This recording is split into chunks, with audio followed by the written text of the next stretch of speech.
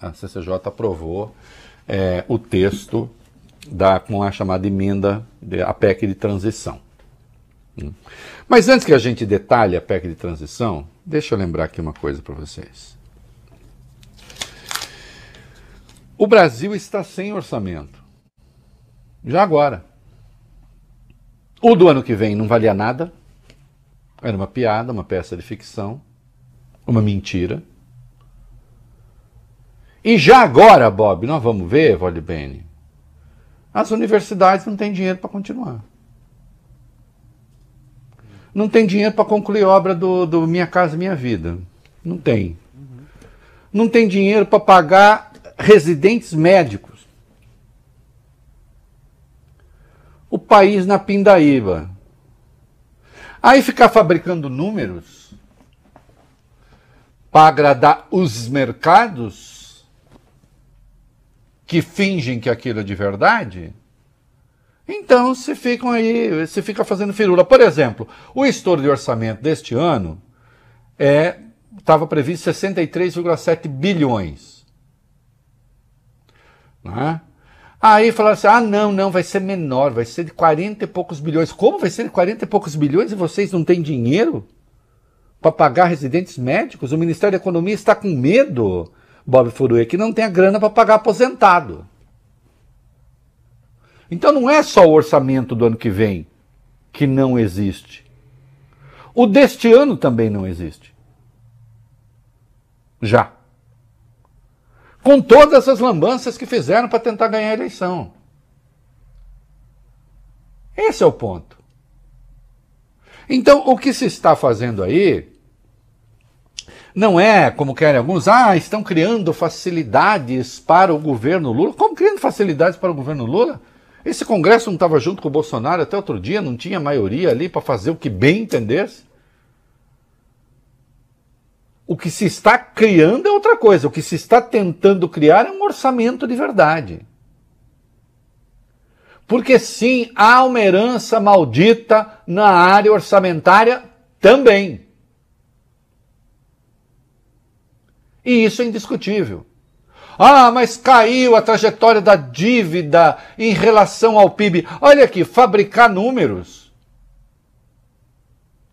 é relativamente fácil quando você ignora todo o resto.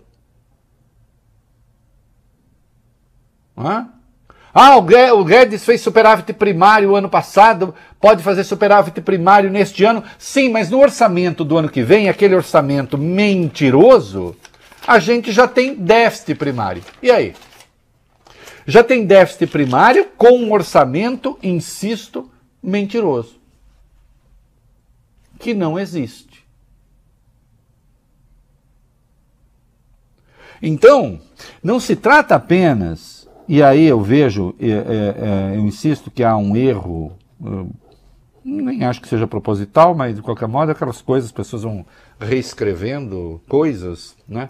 Ah, vou botar no sublid aqui, eu escrevi no lead de ontem. Então aí, meninos, está assim. É, para cumprir as suas promessas eleitorais, Lula propõe 175 bilhões fora do teto. Suas propostas eleitorais? Por quê? As do Bolsonaro estavam cobertas pelo orçamento? Ele deixou dinheiro, por exemplo, para os 200 reais? Ele deixou dinheiro para o aumento do salário mínimo? Como suas?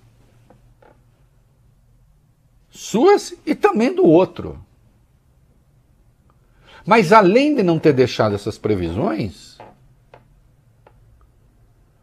deixou o resto do país, da, da, de, de, de, os, os demais programas em petição de miséria.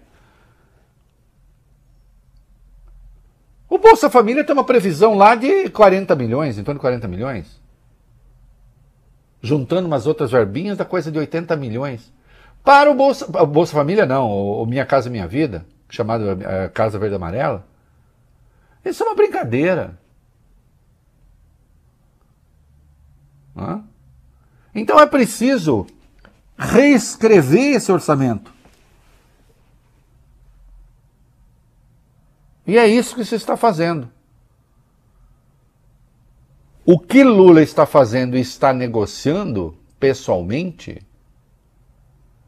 porque nessas coisas é preciso que o eleito negocie pessoalmente, em vez de terceirizar a tarefa. É um orçamento viável que recoloque o país no mundo da realidade, de onde do qual havíamos nos divorciado como país. É disso que se trata.